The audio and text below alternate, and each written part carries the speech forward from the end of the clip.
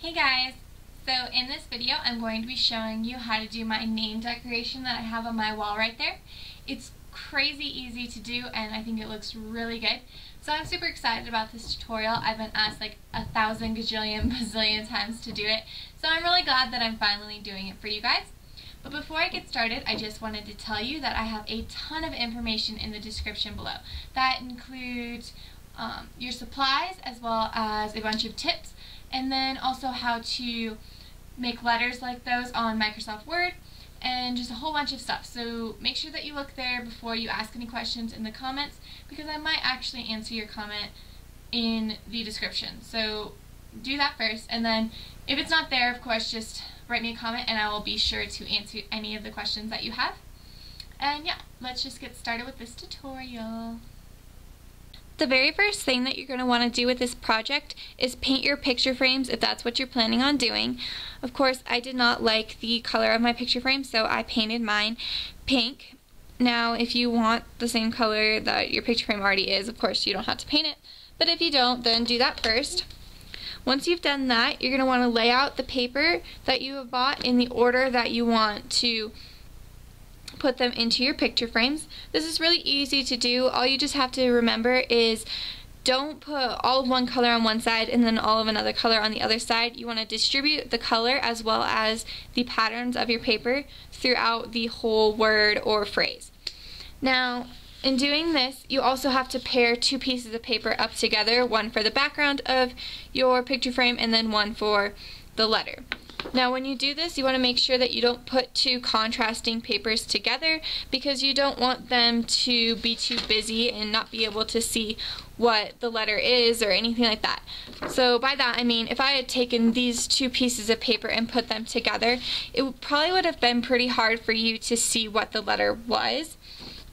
But on this one, I put just a plain piece pink piece of paper and then the crazy background. And that made it easy for you to see that it was the letter E. That is just something that you guys, of course, need to remember while you're doing this.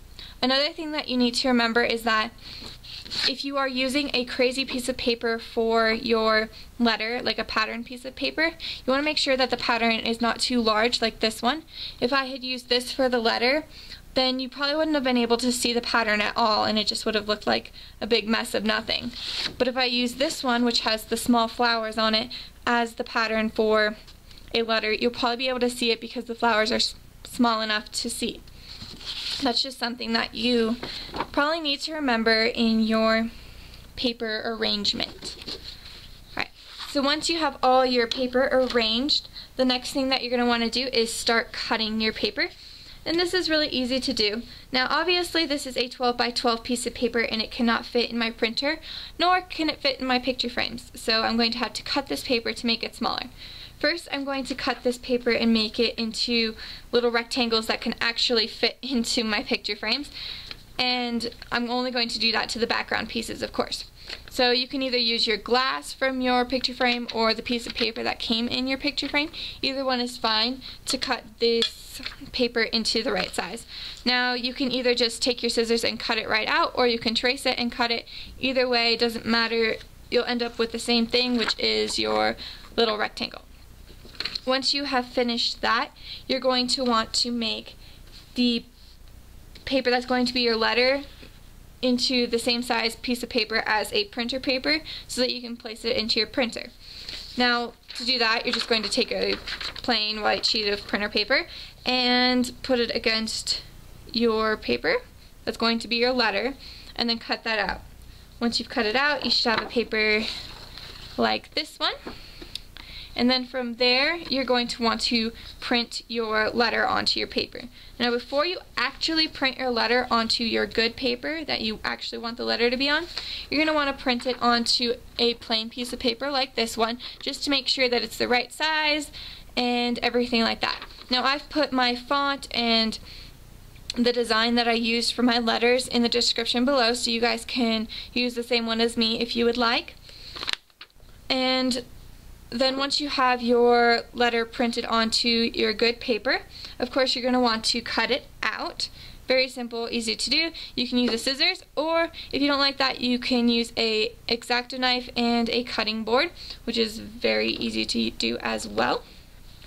From there you're going to want to take your background paper and your letter and place them on top of each other and then glue them together. I just used a glue stick because the letter is not going to come off. It's going to be stuck between the glass and the back of the picture frame. So I feel like if you just use a simple glue stick, it'll be strong enough just to keep the letter from sliding down into your frame. And then from there, once you have your letter glued on, all you have to do is place it into your picture frame and you're done. As simple as that. Thank you for watching this video. I hope it was very helpful. If you have any questions, don't forget to look in the description box below because I have a ton of information there. And then if your question is not answered in the description box, you can always leave me a comment and I will be sure to answer them. And yeah, I will see you guys in my next video. Bye!